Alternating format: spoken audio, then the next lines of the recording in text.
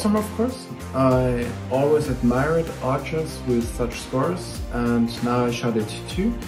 And I'm even leading the ranking list, therefore I'm pretty happy.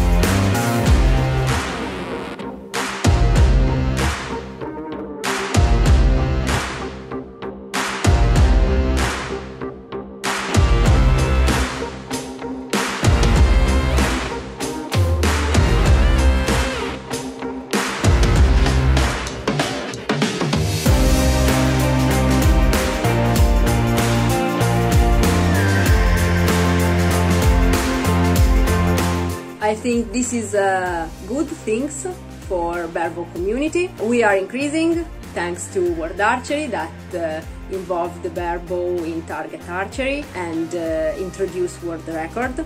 So for the next uh, stages, I hope there will be more Barebow taking part.